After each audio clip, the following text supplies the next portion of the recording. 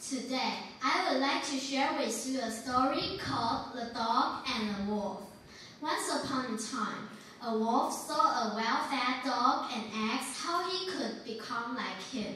The dog explained that he had a master who took care of him and fed him every day. The wolf saw this sounded nice and decided to join the dog. Soon, the wolf realized a master also meant giving up freedom. He had to obey commands and stay chained. The wolf missed his freedom and decided to live.